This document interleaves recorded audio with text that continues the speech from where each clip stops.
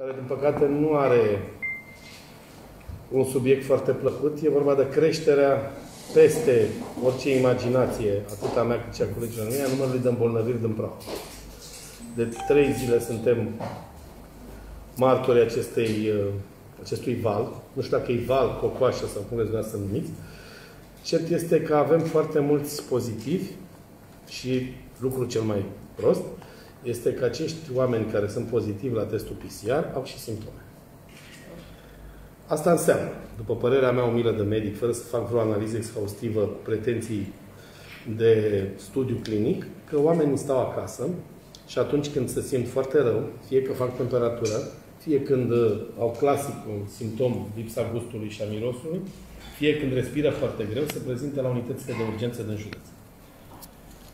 Uh, altă creștere se datorează oamenilor care stau în anumite centre închise.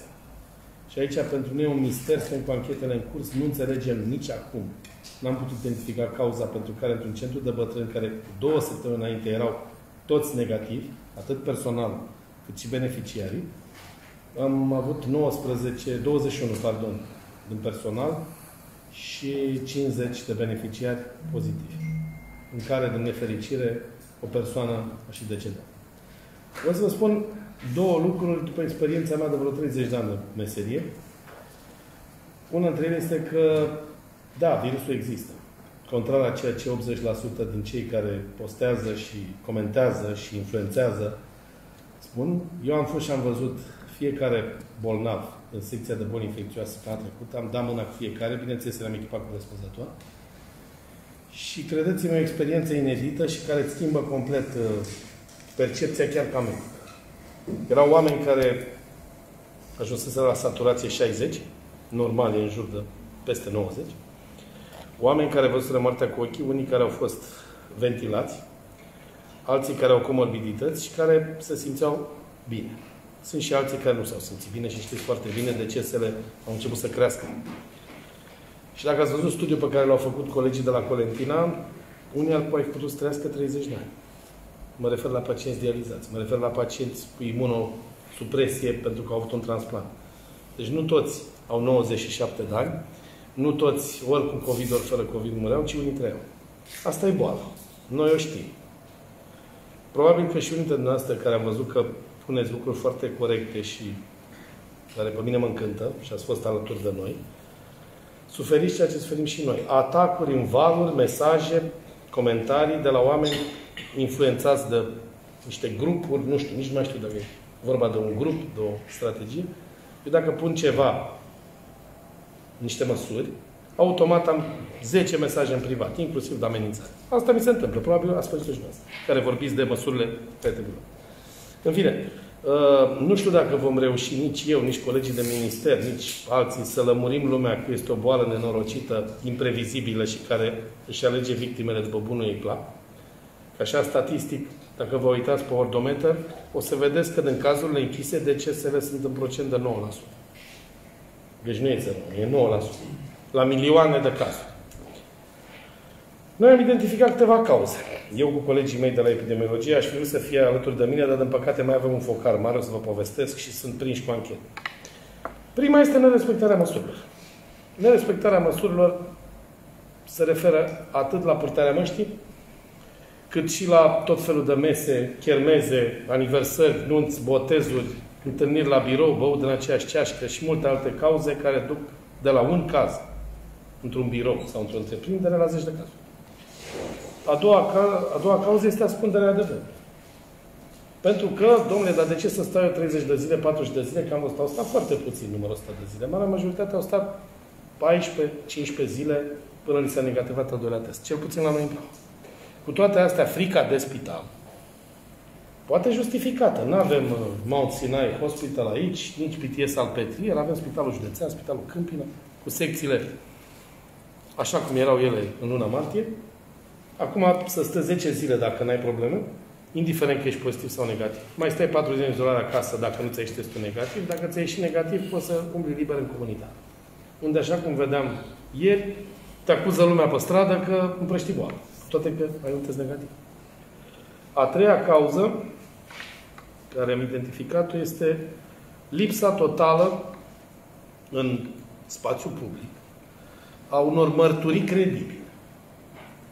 Și aici eu vă invit aceia de care doresc și care și asumă. Am mai spus-o. Eu n-am reușit, când m-am dus în secție, n-am reușit o metodă să pot uh, ține acest telefon să nu car virus cu el.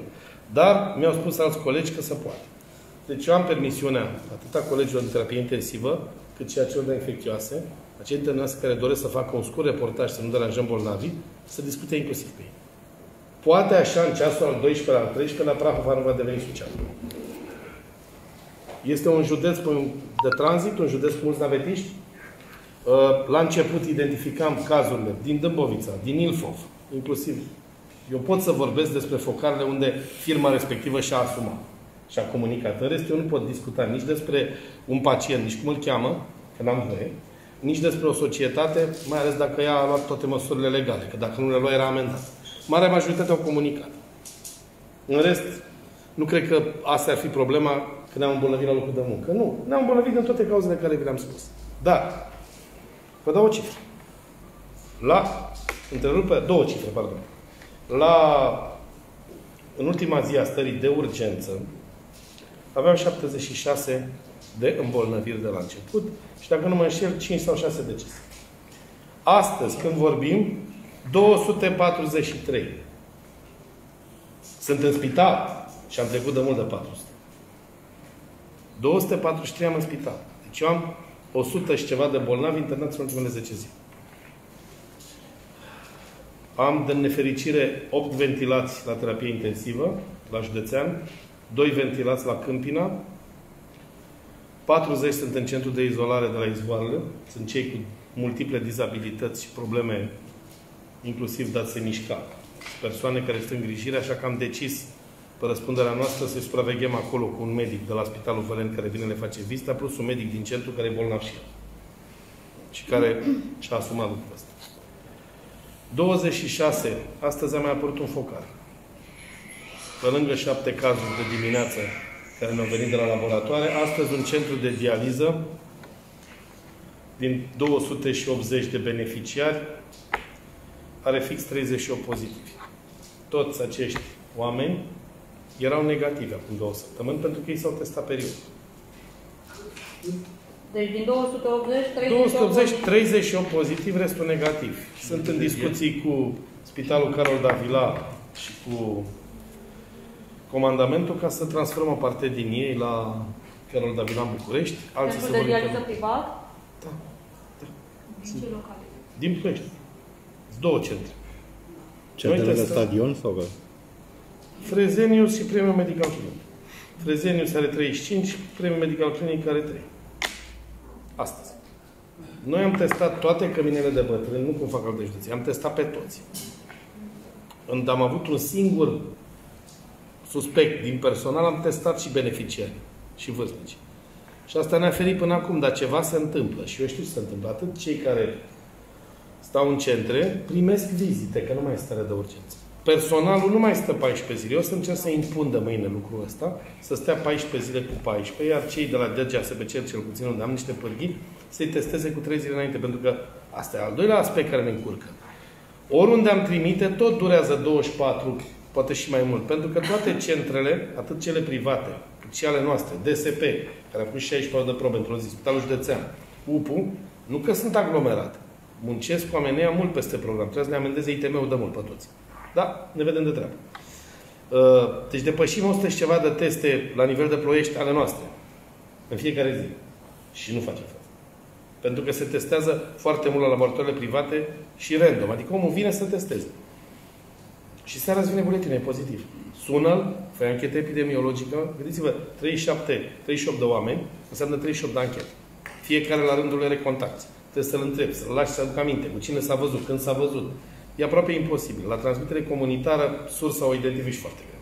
Numai dacă să spunem, știi sigur de unul că a fost, să zicem, în Anglia, a venit ușind și s-a dus la o nuntă unde toți erau sănătoși. Ăla e cauza probabil. Unii iau de pe stradă, alții iau de la petrecere, alții știu de unde au luat, dar nu spun. Deci, o să vă răspund și la celelalte întrebări pe care unul dintre noastre mi le-a spus și v-am răspuns destul de Telegrafic, deci Sanotur, e vorba de Căminul Izvoarele. Avea 102 persoane, am avut și 102 persoane însemnând uh, beneficiar plus, uh, plus personal. 73 de cazuri au fost, din care 48 peste 65 de ani. 10 uh, dintre ei au fost transferați la spital, o persoană a decedat și încă o persoană s-a întors în centrul aceea familiei pentru că simptomele inițiale nu mai erau și atunci putea fi tratată la nivelul centrului. Cum am făcut? Am trimis o echipă mixtă, medici de la ambulanță plus infecționist, care i-a triat noaptea aia și doar pe cei care desaturau și aveau probleme urgente de sănătate, pe ei am internat, tocmai ca să nu-i stresăm. E o situație foarte dificilă cu persoane asistate. Unii sunt scaun cu rotil, alții nu se pot mișca. Erau și persoane cu tetraplegie. Mulți au demență senilă sau Alzheimer. E aproape imposibil să îngrijești într-un spital obișnuit, cum e Câmpina sau Județean. Și din lipsă de personal și din lipsă de experiență personală. Și atunci am preferat să rămânem cu un schelet de echipă medicală, care și-a asumat să muncească suplimentar din cei angajați acolo, plus un medic, plus al doilea medic de specialitate care le face vizita. Până acum rezultatele sunt bune. Doamne ajută! Mai departe. Focarul de la SZ, de care știți cu toții. SZ, exploatare sistem zonal, apele române. A apărut în 16, la punct de lucru Brazi. Se pare că un contact familiar soția unui angajat. Se pare că s-au respectat normele din ce au afirmat în scris de distanțare și protecție locul de muncă, dar se vede că nu suficient. Și până la urmă am ajuns la 9 pozitiv și nenumărați izolați. Toți sunt bine, se și externează azi câțiva. Deci asta putem considera un subiect închis. Uh, focarul de pe șantier de la platforma Brazi, crem similar. Da? Doar trei angajați au fost depistați. Focarul, vă spun, înseamnă peste trei. Da?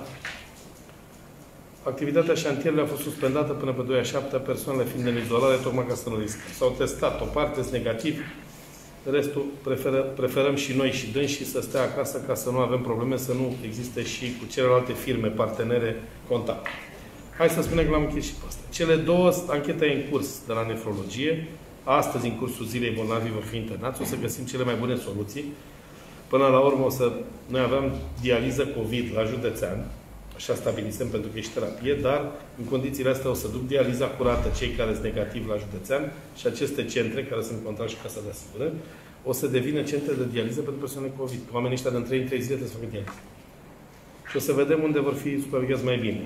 Cei de la CFR care au nefrologie și au avut experiență internează 12, o să vedem la județean și v-am spus, sunt în așteptarea unui telefon de la colega mea de la DSP București pentru Spitalul Carol Davila, care se pare care și Spitalul Colentin. O să vorbesc cu Direcția Generală Asistență Medicală Primăria Capitală. Pentru că sunt persoane cu nevoi deosebite și n-aș vrea să stea într-un spital obișnuit de boli infecțioase un dializat. Referitor la situația de la Spitalul de Pediatrie, vreau să vă lămuresc. Sunt într-adevăr două asistente pozitive. Una dintre ele însă a venit în concediu. A anunțat că nu se simte bine. S-a dus la unitatea prin urgență, a fost testată, deci n-a venit în contact decât cu familia care e izolată și câțiva apropiați. Nu a putut veni în contact cu nimeni din spital și este de acum 10 zile. Iar cealaltă a apărut ieri, are 11 contact, sunt toți testați și izolați, așteptăm rezultatele astăzi.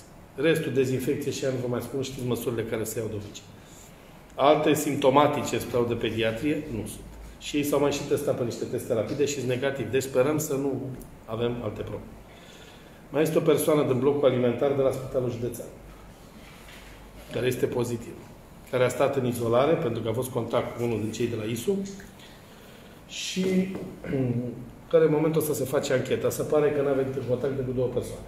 Până alimente eu n-am auzit să transmit, așa că riscul este zero. Ieri mi-au zis o treabă, un uh, curier, să spunem, care răspundea pliante cu diverse firme în diverse localități de Ploiești, a fost găsit și el pozitiv. Și cred că am primit vreo 100 de telefoane, că dacă au pus mâna pe hârtie, aproape imposibil. Nu cred că la asta, dacă vine cineva și pune un pliant, imediat, dacă omul ăla să presupunem că a tușit pe acel pliant, că altfel dacă a pus mâna, microbul ăla totuși pe căldura asta mare destul de repede. Deci dacă ne-am uitat seara la pliante, riscul e mic. N-am auzit până acum de transmitere pe pliant. Transmiterea de care știm și e certă este până discuții fără mască. Și aici vreau să insist pe trei măsuri. Restul sunt proste. E părerea mea. Nu sunt nici cercel, nici la fila. dar discut cu bolnavii, discut cu medicii, cel puțin la câte cazuistică avem în Prahova, cred că experiența lor e suficientă. Masca, chiar asta de trei straturi obișnuită, dacă o poartă două persoane, care nu știu fiecare de unde vin, de exemplu, când vine cineva la mine, în audiență, eu îmi pun mască. Singur în birou n-are sens să nu mască. La fel, am pune cineva mâna pe suprafață. Poate mâna i-a dus-o la nas. Am un dezinfectant cu care dau acolo. Cam asta e. Dezinfecția acolo unde aduc o persoană care nu știe în ce mediu vine. Purtarea măștii de ambele persoane și un studiu, îl vedeți până. Reduce aproape la zero transmisie. Și atunci când vă vin mărfuri, sau le vin la oameni mărfuri acasă, da? e bine să le folosim un dezinfectant, chiar și alcool pe pachet. Și după aia să le desfacem. Că vin de la X firmă de curierat, că vin de la Y, nu contează. Când vine o marfă, un coleg. Că nu știu omul ăla dacă n-a tușit, chiar în momentul ăla când e tu coleg. Și dacă nu e bolnav. Pentru că asimptomatici nu sunt atât de mulți, credem. Dar sunt oameni cu simptome foarte mici. Dacă mai ești și fumător, ce că tușești de la țigări. Dacă are o rinită alergică, ce îi curge nasul de la rinită alergică. Te la de COVID. Și semnul ăsta cu lipsa gustului și mirosului nu apare imediat, apare destul de târziu în evoluția bolii. Am observat noi cam în a treia, patra zi. Și e deja târziu. Între timp omul a infectat grămezi. O întrebare, curge nasul la COVID? Eu am înțeles că e virus uscat și că tot mai nu curge nasul. Nu știu de virus uscat și virus umed, că sunt atât de mici. Așa, tot aud la televizor. Păi, Nu curge și eu nasul. aud că nu există COVID. Nu. Există persoane, din ce am discutat cu pacienții și cu medicii, le putem grupa așa. Febra apare destul de des. V-am spus, există o problemă, un specific la noi, pe această a doua cocoașă a infectărilor. Oamenii ezită să vină sau să sune medicul de familie, marea majoritate a lor, și vin în general cu următoarele simptome. Febră, durere în piept, da? tuse, și unii își aduc aminte un episod de rinită, de curgerea nasului, de gutura. Este coronavirus. Coronavirus mai sunt mai multe, inclusiv cele care uh, provoacă guturaiul banal. Așa că există, virusul întâi se focalizează pe mucoasa nazală, după aia coboară undeva în faringe și la ghinioniște ajunge în plămâni. Vreau să vă spun că sunt pacienți asimptomatici, la care când m-am uitat pe radiografie m-am crucit. Deci pacientul nu avea nimic. Probabil n-a urcat repede niște scări sau n-a dat la bicicletă să vadă. În momentul când mi-a făcut radiografie, vedeai o treime din parenchimul pulmonar inundat de lichid. Ca să nu mai zic că la noi, la județean și la Câmpina, la cei simptomatici, la CFR, se aplică de rutină tratamentul anticoagulat. Asta poate explică și rezultatele pe care le au colegii, de care sunt în legătură și cu Balșul și cu Timișoara, inclusiv celebrul tocilizumab, acel anticorp monoclonal de care se vorbește, a dat rezultate excelente la niște pacienți care se sufocau, tineri. 39 de ani, n-avea nimic acum, peste două ore, omul se sufoca. Și au aplicat această terapie și e bine. Se externează astăzi. Ce aș putea să vă mai spun? Deci mă aștept în continuare, dacă am 243, era înainte să fiți asta, acum sper să nu fie mai mulți, de bolnav COVID, înmulțiți cu minim 3 membri de familie, asta e riscul de cazuri. Și atunci, în zilele care urmează, începând cu mâine, o să vă întrebați, bun, bun, ați constatat treaba asta, ați văzut că sunt mulți, ce faceți? Plecați acasă sau nu? Nu pleacă nimeni acasă. Sau cine pleacă să fie sănătos. Uh, noi ăștia în DSP și cu o mână de colegi care am, stăm de la început în spitale, chiar nu vrem să plecăm nicăieri. Deci, măsurile sunt așa. Cât să poate de mare atenție la externare, să nu rateze vreo zi, pentru că vă spun, sunt pacienți care au zis, chiar dacă au trecut 10 zile, nu vor să ducă acasă. Că ei simt că mai au ceva. Nu. 10 zile test negativ acasă. Și am făcut loc în spital. Doi. Am discutat cu domnul subprefect și Comitetul Județean de Situații de Urgență va fi convocat și o să evaluăm toate paturile disponibile în județ. Să mă pregătesc. Sunt spitale de bună specialitate unde să pot reloca bolnavii la altele și atunci le vom defini ca centre de izolare pentru asimptomatici. În speranța că ăștia sunt mulți, că dacă simptomatici, atunci va trebui să înghesuim în spitalele cu medici de specialitate. În fine, am discutat atât cu ministrul Tătaru și cu secretarul de stat Arafat.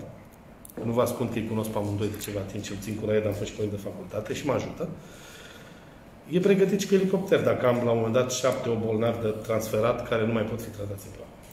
Da? La spitale de București sau din țară. De exemplu, Vâlcea și mai departe. Deci sunt de 10 ori pe zi în legătură cu terapiile intensive și cu infecțioasele, în caz că apare o situație, mai transfera 6. Când bine știți. La rol 2, la Ialomița și în altă parte. Și am preluat și noi doi de la Pitești când aveam locuri. Deci, mișcarea asta se face continuu prin Centrul Național de Conducere a Intervenției. Eu sper să nu fie cazul și să ne descurcăm. Și o să vă spun și de ce. Suplimentare medici. Am o promisiune care astăzi sper să transforme în realitate, emitea unui ordin de ministru, transferul a șase medici, un infecționist și cinci medici de terapie intensivă. Că știți că stăm nu prost, ci ultra prost.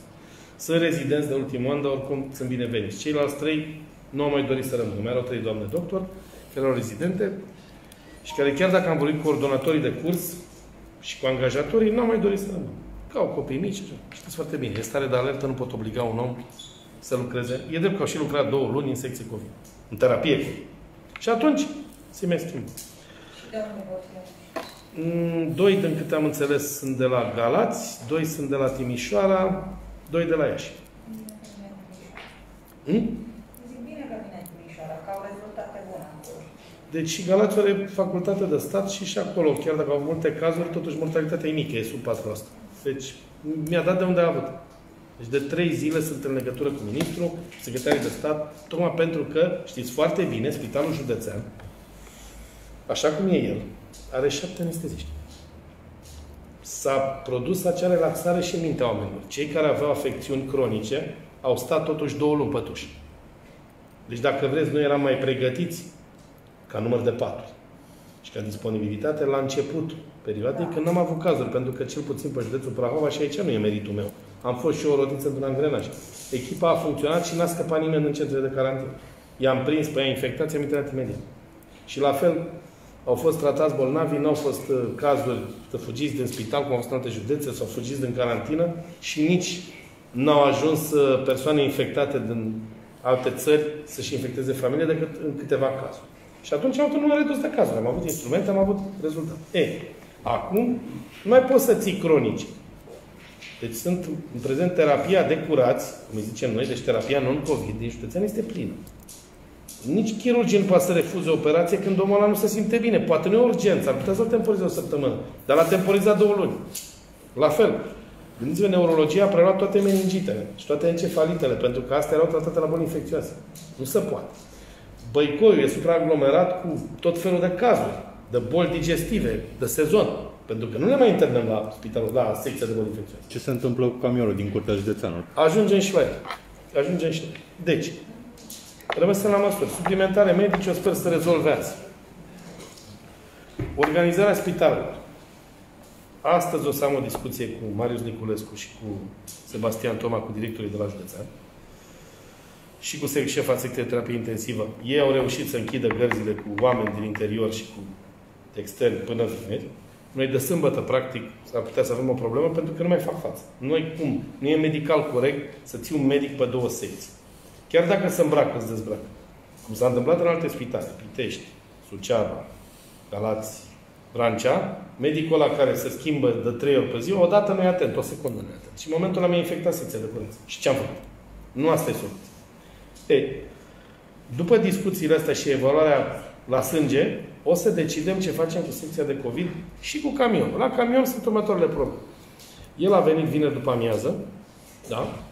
Uh, între timp erau ventilatoare libere, doar într-o singură seară a fost nevoie să-l deschidă și să pună pe cineva să ventileze pe el. El nu e operațional de ce? Din lipsă de personal. Și atunci soluțiile nu pot fi decât două. Da? O să le evaluăm și să le decidem mâine împreună cu prefectura și cu toată lumea. Fie vin oamenii ăștia șase și mai am o listă cu care sun în fiecare zi și mă rog de ceilalți cinci anesteziști din județ, că atâția sunt. Restul de peste 70 de ani și nu-și asumă să intre secție Da? Și nu cred că mai fac față la un rit de ăsta de lucru. Și închidem o gardă cu o persoană din terapie, rămâne pe COVID. Soluția este să unim acel camion pentru un tunel, pentru un cort, cu parterul, se mută terapia COVID la parter și atunci am 20 de ventilatoare și 24 de paturi COVID. Că mă aștept să am atâtea cazuri în câteva zi. A doua variantă, în cazul în care să spunem că nu vin 6, vin 2, este să suplimentez garda la Câmpina, să duc camionul la Câmpina, acolo am asistente mai multe, dar n-am decât doi medici, și să mă cârpesc cu medici de la județean să fac o gardă și să fac COVID într-o parte. Nu pot să mă joc cu treaba asta. S-a vorbit de niște consumabili. Am înțeles să rezolvat. Am vorbit asta la telefon.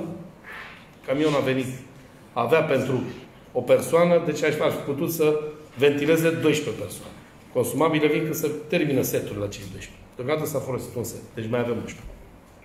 De tuburi și ce mai sunt. Nu mă întrebați că nu sunt anestezist. Dar am discutat cu cei de acolo. E adevărat că- E operațional? Mm, El funcționează, are oxigen. Adică terapia, mutarea camionului la Câmpina înseamnă să avem... Mutarea terapiei, nu. Câmpina- Camionul e supliment. Terapia de la Câmpina are 10 locuri. Terapia COVID de aici are 12 locuri. Asta e singura diferență. Însă la Câmpina nu mai ai un să pui patru. În caz de nevoie, la județean mai poți să pui 2, 3, 5, 4, că e loc. Poți să înghesui o secție și mai pui niște patru de terapie. Și mai aduci niște ventilatoare de sală. Ei, eu nu știam câți o să vină. Dacă într-o seară a trebuit să prim șase oameni, că nu mai aveam ventilatoare, mă gândeam că a doua zi îmi vin 12. Din fericire mi-a venit unul. Da? Și el a stat două ore, după aia a saturat și l-a dus înapoi la infecțioasă. De asta n-am folosit Plus că sunt tot felul de vorbe. Oamenii sunt obosiți, eu nu vreau să-mi atac colegi. Oamenii sunt obosiți. Sunt cum sunt. Și orele suplimentare să simt și noi. Și probabil că s-au cam săturat să toate cazurile foarte grave să ajungă într-un loc și vor să împărțim muncă. În discuția cu ei de mâine să vor la decizia finală. Rămâne terapia COVID la Ploiești, cu persoane suplimentare, cu linie de gardă, cu tot. Șefa de secție îți și asumă să dea un medic, chiar ea, să stea șapte zile pe COVID, testată, după aia merge pe secția altă, ca să nu riscăm să infectăm bolnavii critici după secția non-COVID. Asta e problema. Situația asta s-a întâmplat și la Târgu Mureș, când au rămas doi medici și șase asistente neinfectate. Pentru că s-au amestecat. Au venit atâtea cazuri și eu aș vrea să evit lucrul ăsta. Cu toate că o să spuneți că mă bag în cenul fierbare. Eu trebuie să dau niște dispoziții spitalul județean și să ia măsurile care se impun. Așa a făcut un alt director de direcție, poate nemedic, poate chimist, poate economist, nu știu. Eu am stat 10 ani în ambulanță și mă implic. Poate fac bine, poate fac rău. Da? Unii zic că fac bine. Și, în fine, v-am spus că am telefonul deschis, în rezervă elicopter, spun ce mai departe în caz că apar situații deosebite. Mi-e groază însă de o aglomerare a cazurilor care să depășească capacitatea spitalului de Prahova, care este proastă. Vă spun deschis. Capacitatea maximă. Uh, Capacitatea maximă la ce? Dar ce aceasta? La COVID, la non-COVID? COVID, La COVID, la COVID. Despre asta. Eu zic că la COVID mai mult de 300 de paturi în Prahova nu avem de unde să luăm. Deci asta e, aveți 243 acum și, Și am putem merge până la 300 cu 300 ATI, înghesuiți. cu ATI cu tot sau Eu vorbesc mai... de paturi COVID cu tot. E un procent de paturi terapie. Paturi terapie nu înseamnă ventilatoare. Paturi terapie înseamnă paturi care au acces la oxigen, care au acces la medic de terapie Deci intensivă cu alea cu și tot care au avem și ventilator. 300? 300 astăzi. Și cel mai 243? 217 acum. Mai avem și v-am spus că sunt, 243 sunt azi. 40 de beneficiari în centru. I-am citit acolo, sunt în stare bună. Mai devreme am spus 240. 217 internați, am 243 COVID. Stați un pic, 217 am internați, 243. Nu i-am internat pe toți, se internează, sunt 30 și ceva de oameni. Câte ambulanțe credeți care sunt? Deci în spital acum avem 217, că ați spus Draga mea, 243. 243 COVID pozitivi. Eu nu pot să-i, să-i teleportez. Eu pot doar să trimit pe rând ambulanță, izolez. Evident.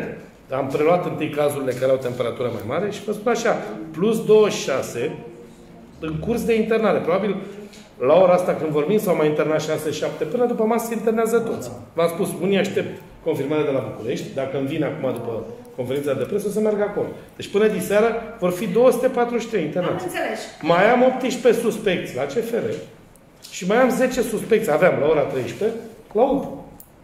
Din ei se vor pozitiva unii. Deci am Mai două 28 de... zile se pot ocupa cele 300 de paturi? De-aia vom goli un spital mâine. 18 suspecți la CFR Da? și mai aveți Și 10. 10 nu pot. Erau la ora 13. În aceștia se regăsesc și cei 38, Nu! Cei 38 sunt pozitivi, nu suspecți. deci nu se regăsesc nici... Nu. nu se Cei regăsesc 38 se nici- regăsesc în cei 243. Deci se regăsesc în aia. Păi da, v-am dat cifra Ok. confirmărilor de la laboratoare la ora 13.30. În momentul ăsta oamenii sunt sunați, li se spune că sunt pozitivi, Am înțeles. li se Deci asta explică voiam. ce au de făcut și se organizează transportul cu ambulanțe, că nu sunt ploiești, sunt în toate colțurile județului. Care este cel mai rău scenariu pe care l-ați în cap? Ăsta care îl trăim azi. Care nu mi l-am dorit și care se datorează unor inconștienți. Mă uitam, este o campanie pe Facebook, aruncă mască. Nu știu dacă ați văzut. Da.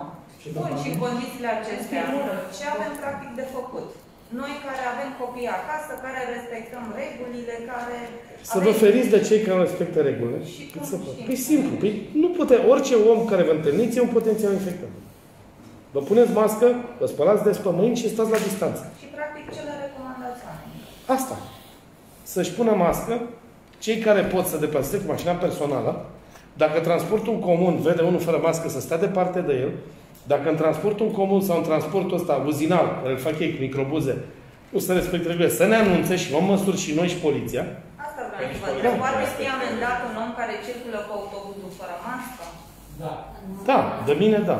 Dar credeți-mă, cu 12 inspectori nu am timp să fac asta. Eu m-am concentrat pe unitățile astea, să le verific. Și dacă le spuneți că nu aveți timp acum, o să bazeze pe asta? Nu, o să-mi fac timp, credeți-mă. Deci O să fac. supermarketul e la fel, că nu toată lumea Da? poartă mască. Adică Vă ei spun o dau treabă mască ce am și o observat. lasă- Uh, au fost acțiuni sâmbătă, duminică, și ai mei, și veterinarii, și poliția, și nenumărat, OPC-ul. Ce informații am? Nu le-am văzut, da? De la oameni care au filmat și îmi dau și mie filme. Am trimis de nou echipa. Dom'le, când apare un polițist sau unul de la Sanepid, stau cu minți patru la masă. A plecat să adună 12 ca oile. Dar la terasă veți mai face acțiuni? Tocmai mi-a atras atenția, Claudiu, să fiu. Vom avea acțiuni tot timpul. Ideea Nu numai la este terasă. că ei Am avut și încearcă- la piscine și am dat amenzi la trei piscine că erau grămadă. Ei încearcă să respecte, doar încearcă. Pentru că de cele mai multe ori... Nu. Problema masca mea e este cu superbie. oamenii care, eu nu acuz cetățenii, dar îmi dau seama că pentru niște persoane care n-au trăit ce trăim noi aici în DSP și iar în spital, și care se uită la televizor, la unele televiziuni și care văd anumite, mai ales în rețelele de socializare, nu mai cred. Și oamenii ăștia nu respectă nimic. Ați văzut ce a fost la mare, ați văzut ce e la munte și în condițiile astea. Oamenii ăștia vin infectați. Eu încerc să fac un apel, frate, dacă vă considerați tineri și sănătoși toți, care nu respectați regulile, gândiți-vă la părinți, dacă nu la ai voștri, la ai noștri, că n-au nicio vină. Deci știu persoane care nu au respectat reguli, care și-a îmbolnăvit bunicul, care a decedat. Dar știți că în spațiu public există discuția asta și mă uit și acum foarte mulți comentează. Ce facem cu ceilalți bolnavi? Că nu avem doar COVID. Deci, Păi în asta județ... Unii, unii, se plâng că, unii se plâng că sunt neglijați. Și aceeași deci, poveste... singura problemă care e în toată lumea, civilizată și necivilizată, este timpul lung de așteptare, pe care îl recunosc și încerc pe această cale scuze tuturor pacienților care stau la triaj, care așteaptă să le iasă testul COVID până ajung să fie internați, dar ajung și sunt internați. La moment de față am în neurologie, nu scoviz, în interne nu scoviz, la gastro nu scoviz, de județeanul are o rată de ocupare a paturilor destul de mare. În condițiile în care trebuie să-i distanțeze. Știți că unul de ministru unde trebuie să stea șase în salon. Da? Deci oamenii ăștia sunt tratați. La, m-am dus și am verificat personal la ambulatoriu, la Câmpină. Veneau oameni, erau invitați înăuntru, câte unul în cabinet, conduși înapoi afară. Da, stau mai mult la rând. Dar nu riscă să stea, cum ați văzut imaginea la de anumite instituții oncologice sau chiar în Ploiești, în prima zi, când în nebunii lumii. Deci nu ai ce face. Ai rețeaua medicală pe care, pe care, de care dumneavoastră ați scris de 100 de ori. Cu medicii aia puțini și nu comentez de unde. Ăștia trebuie să facă față. La ce vă așteptați de acum încolo? Să fie oare ăsta vârful la noi în Cracova sau... Nu sunt adeptul unor calcule. Eu văd că lucrurile se înrăutățesc prin nerespectarea regulilor și datorită unor campanii. Astea sunt reale, le văd în fiecare zi. Se vorbește de izolarea unor localități. Se pune problema? Nu pot să iau eu măsura asta. Nu, dar zic, s-ar, cât s-ar putea problema? Păi noi nu am un focar într-o localitate. Dacă aveam un focar cu 60 de cazuri în localitatea X, izolam carantina, mai nu izolare, e carantină. De fapt, termenul ăsta la oameni a fost folosit greșit. Dacă spuneți mie carantină, înseamnă să izolezi un spațiu, un areal. Persoanele sunt izolate. Deci, se putea carantina, nu ieșea, nu intra nimeni, ne făcea o echipă medicală protejată, îi vindeca și cu asta basta. Există- Dar ai cazuri în fiecare zi din toate colțurile județului. Cum? Dar Carantină în există ce? o zonă unde au fost înregistrate mai multe cazuri? V-am spus. Izvoare. La centru de la izvoare. Păi, centrul de izvoare de aia în n-au... afară, nu vorbim de centru. Deci, în afară de centru și de dializă, nu pot să spun că am... Nu, nu am. Am mai multe cazuri în zona de nord a județului, pornind de la Băicoi în sus, dar mai mult chiar în zona de nord-nord acum. Nu pot să... Sunt câteva cazuri. Calcule statistice faci pe sute mii de cazuri. Dar eu bănuiesc că este traficul cu Brașovul, care are 1400 de cazuri. Da? La fel, am avut inițial, când au început să crească cazurile, mulți care s-au contaminat lucrând în Ilfov sau în București. Și au adus de acolo. Alții din Dâmbovița, navetiștii din Dâmbovița. Așa au apărut.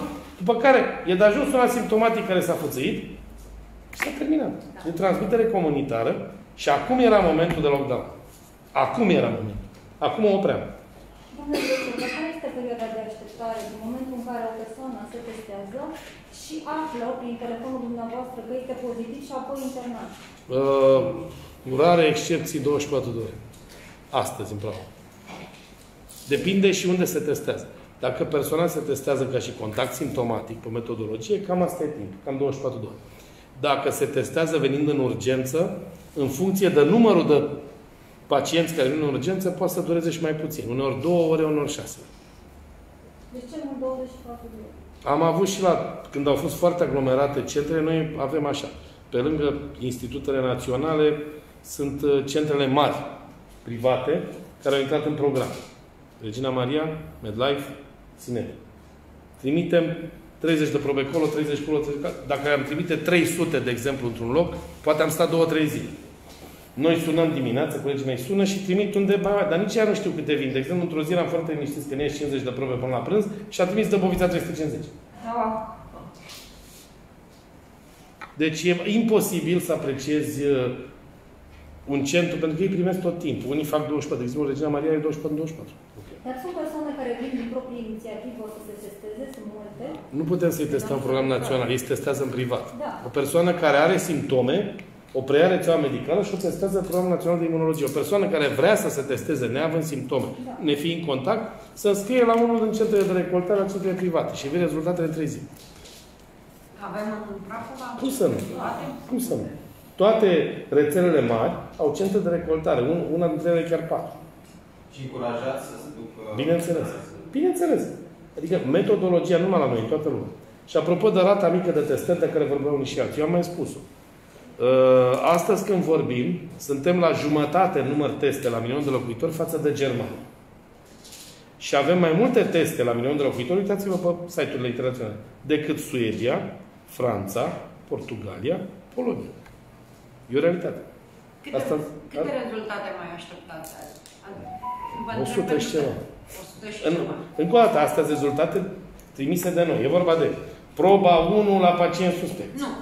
Uh, Testarea personalului de la acel centru de dializă. Nu știu câte teste îmi apar, pentru că orice laborator privat prins în programul național de imunologie, că e 200 de lei peste tot, deci nu e nicio afacere. Că unele scrie afacere. Nu știu, o fi, dar nu e a mea. Dar mie nu se pare că la 200 de lei peste tot, stat sau privat, e vreo afacere. E același lucru ca la casa de asigurări, unde ai un laborator de stat și un laborator privat. Tot banii ei primești de la casă. Tot mâncai o fac.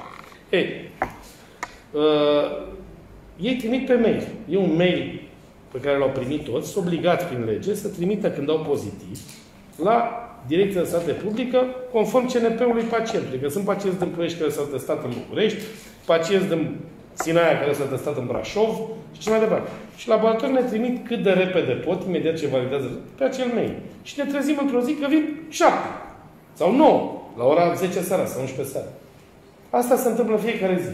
Și vreau să vă mai întreb, uh, la subiectul centrelor de dializă, 38 de pozitivi în două centre, ați spus, Da. 36 cu 2, vorbim doar de pacienți. Da. Uh, Câți angajați sunt la centre și Nu știu. Eu v-am spus că Presupun era, că și- era informația proaspătă, colegii presupun mei că acum și fac ei sunt anchetă. te- testați acum, nu? Când vorbim, cred că deja s-a terminat asta. Dar nu știm câte. Și nu, nu aveți pe cine Nu am- informați să ne dați informația asta? În momentul ăsta chiar n-am. Fac anchetă la ceilalți să vedem de unde au venit. Ei se duc acasă, nu stau în centru. E foarte posibil ca un bolnav dializat să fie adus. Deci o să o am într-o oră. Dacă e. Nu știu câți, probabil au vreo 100 de oameni. Domnule director, la fiecare post de stradă vedem măști. Puteți să cumpărăm de la orice magazin. Toate ne protejează împotriva coronavirus. Eu știu că, nu știu, știu că măștile vândute în farmacii sunt sub control al NMDN. Și mai știu, de exemplu, măștile care le avem noi la DSP, eu am dat fiecărui angajat, are două măști pe zi, cam patru ore poți să o porți în asta trei straturi. Și caiet de sarcini care l-am făcut pe SICAP a fost cu toate criteriile de calitate și cu verificările la instituțiile publice. Deci nu avem probleme cu ele. Bănuiesc că și în, nu știu, în orice magazin, dacă ăla le-a adus cine știe de unde, eu aș cumpăra din farmacie și aș urmări pe spatele cutiei dacă masca respectivă are o certificare sau scrie doar într-o limbă asiatică. Și, încă o dată, măștile de tip FFP2 sau 3, M95 și așa mai departe, cu sau fără valvă, sunt măști care eu nu le recomand pentru activitatea curentă. Și vă spun și de ce. Uh, Sunt măști cu un grad mare de filtrare și care reduc aportul oxigen către creier. Mai ales când e cald, asta ar trebui folosit o oră, două, da? în uh, spații cu risc mare, secții de spital și așa mai departe.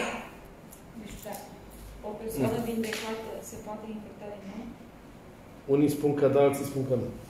Eu am niște îndoieli. S-a vorbit de trei persoane în România, dar n-am văzut articolul la publicat de specialitate, l-am văzut și eu pe un blog, așa că... Este, este real, pentru că a vorbit și pe secție de terapie intensivă de la Sibiu. Iertați-mă, dar a mai vorbit un nene de la Timișoara care a zis că a găsit vaccinul. L-a găsit? Toată lumea, nu știu, o, așa o fi. Dar să publice acel studiu cu date reale, în medicină nu putem vorbi pe povești. Uh, Pe interviu. Că așa și eu vă povestesc ce vreți, dar o să vreți dovezi la ce vă spun. Vreau și eu să văd dovezi. Aseară m-a sunat cineva care a zis că a inventat o seaua care omoară COVID. Deci e posibil.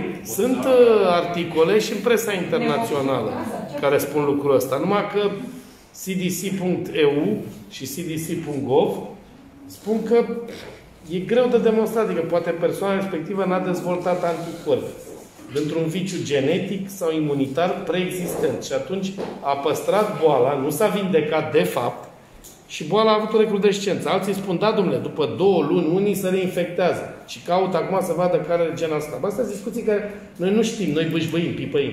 Uitați-vă că tot ce a spus OMS-ul s-a schimbat de 10 ori. Da. Unii ne acuză, domnule, schimbați regulile. Păi ne luăm și noi. Deci tot ce se întâmplă în România se întâmplă în multe țări. La fel discuția. Unele țări internează asimptomatice, altele nu. Dar un asimptomatic se vindecă de la sine. Unii da, alții după 7-8 Adică zile primesc dezvoltă tratament boală. în spital, ei primesc Nu. asimptomatici. Nu. Vorbesc de un asimptomatic. Nu. Dacă n-ai Asimptomatici nimic, sunt doar ești observați. Și bolnav. vă spun și de ce. Experiența celor de la Balci, de la Timișoara și de la uh, Cluj spune, și la Oradea, spune următorul lucru. Există dintre asimptomatici un număr de pacienți, chiar tineri, mă refer la persoane sub 60 de ani, între 30 și 60 de ani. Da, da, da, tineri, stați, că uh, vorbim de clasificarea OMS, nu de poveștile astea. Păi de ce? Ce vezi? Eu mă simt tânăr și la 54. A, deci, uh, persoane care astăzi se simt foarte bine, au imaginea biologică normală, au saturație 98%, n-au nicio problemă și a doua zi ajung caz critic. Ieri era Mă simptomatic. refer la un asimptomatic, care nici Care măcar nu nu și știe că l-are și e acasă, bine mersi și așa. Adică trece de la sine. Să știți că la unii da. Și vă spun și de ce știu lucrul ăsta. Există un studiu de seroprevalență pe care îl derulăm noi împreună cu Ministerul Sănătății și cu Institutul Stat de Public. Uh, S-au făcut eșantionare și la eșantionare s-au găsit destui cu IgG care nu și-aduc aminte să fi avut nici guturai.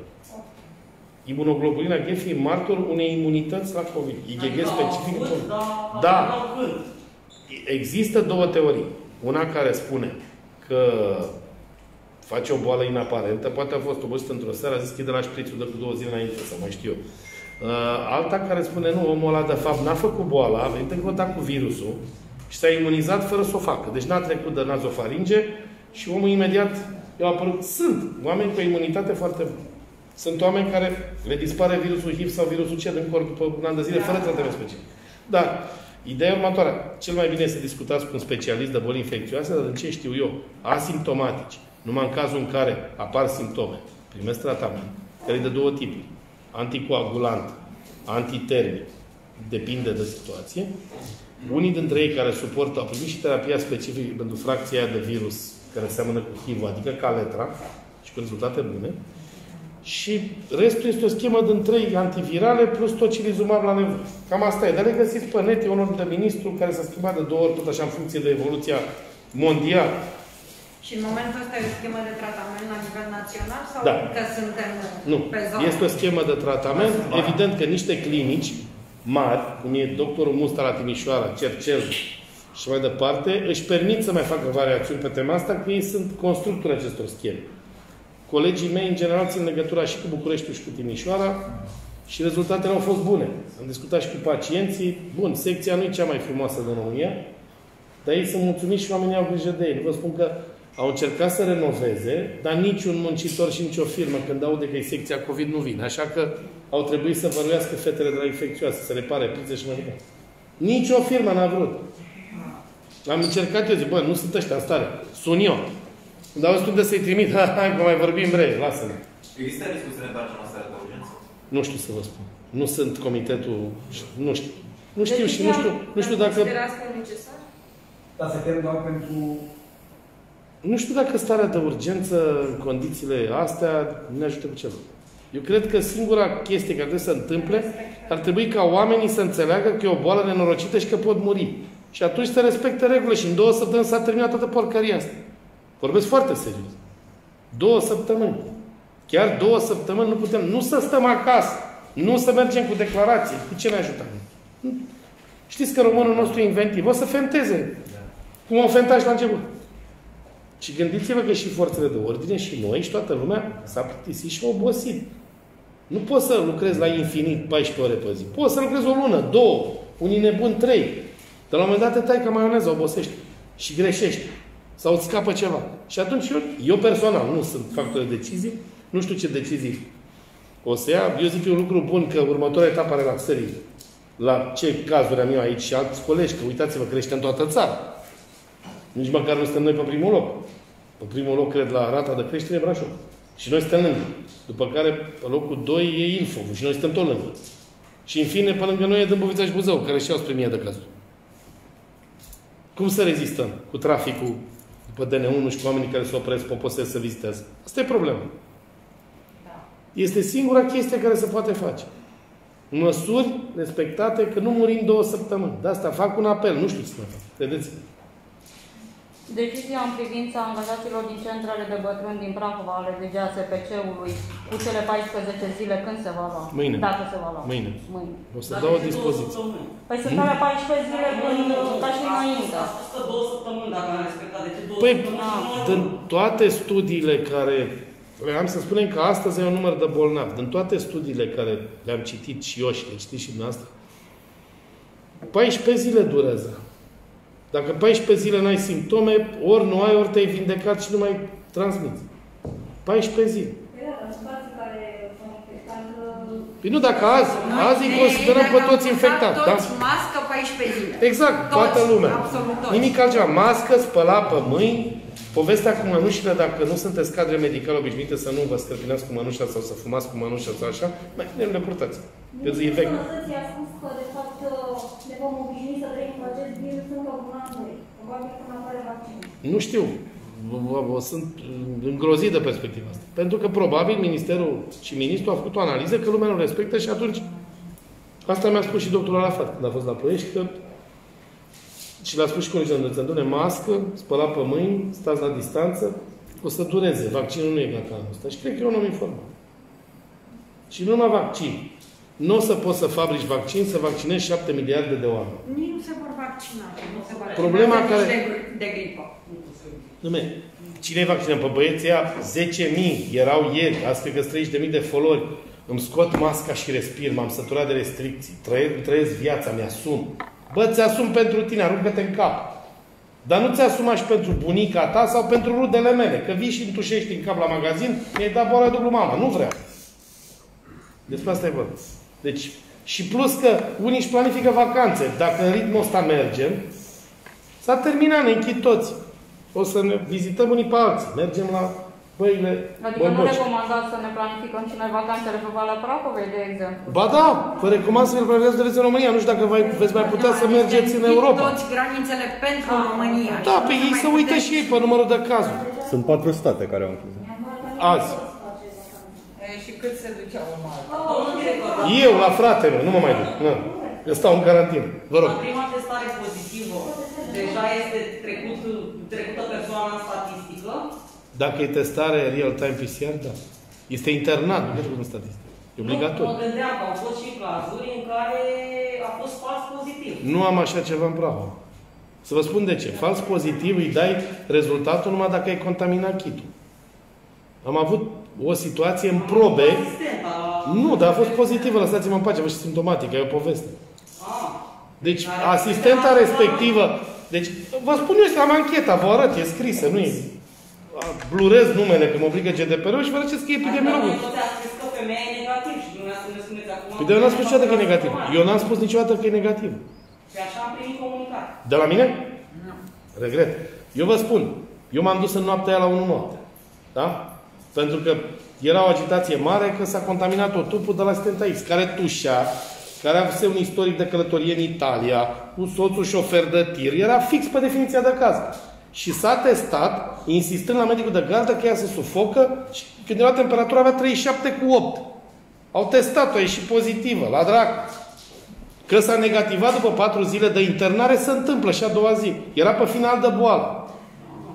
Deci, eu nu am această informație. că rezultatul a venit după vreo patru zile, că tot întreba noi de ce Ba da, da, așa nu tocmai de mai asta vreau să fie clar. Rezultatul a fost în noaptea la ora 14. Am vorbit cu biologul care l-a lucrat, m-am uitat pe diagrama de control și arăta foarte frumos a o mică infecție COVID. Erau, dacă ar- n-am cum, retroproiectorul care l-am moștenit aici e defect. Vreau să vă proiectez niște diagrame, ce înseamnă COVID. E o curbă de control și încă două. Bun, eu o să vă zic simplist, că îți trebuie niște ani de școală să înțelegi. Dar să vede și cât e de infectat. Deci la aia febril și cu boală foarte gravă, e dita curba, depășește curba de control. Restul, a, că se poate întâmpla un fals pozitiv, cum? Dacă faci eșantionare pentru viteză, când ai mulți în urgență, aparatul poate să lucreze o probă de la un pacient într-o oră jumătate. Pui patru. Pui patru, îți ies negativ, sănătate, îți negativ toți. Îți iese pozitiv, îți urcă curba. Atunci le iei din nou la mână pe toate. Și în momentul ăla când le-ai separat din nou, dacă nu ești experimentat, zici să contaminezi kitul de extracție. Dar asta s-a întâmplat numai la probele aparatului cu firma lângă. De atunci, marea majoritate, cel puțin 150 de probe, le-am dublat. Fie cu aparatul mai mare și mai performant de sus, fie cu Regina Maria, fie cu Balșu. Și am o corelație de 98,4%. Și astea sunt cifre. Și documente. Așa, gre- CDC-ul, când a făcut chiturile, a greșit total. În America. De-aia au aici bucnile. E reportaj, e public. Au greșit. Nemții au greșit. Toată lumea a greșit. Plus că la noi, gândiți-vă, uh, mie mi-e mai frică de un fals negativ decât de un fals pozitiv. Pentru că falsul negativ continuă să împrăștie virusul. Așa că dacă e atâta creștere, îl mai ții izolat, să nu vină în contact cu alți pozitivi. Asta a fost procedura la noi. Două zile, e repetat testul. Dacă e tot pozitiv, sănătate, frate, la salonul de 5. Dar dacă este negativ, repeți. Dar asta mi s-a întâmplat odată. Odată. La cât sunt? 400 și ceva până la urmă. Așa că, știu, a fost o discuție întreagă la Târgu Mureș. Acolo au fost 12 fals pozitivi. Cum? Nu știu, nu știu cum au reușit. Chiar pe toți 12 să-i greșești. Dar în fine, gândiți-vă că noi aveam un singur centru de seară în România. Pe medicină umană. Le-am preluat de la veterinari, aparat de 10 ani, cu oameni școliți la locul de muncă. Asta e.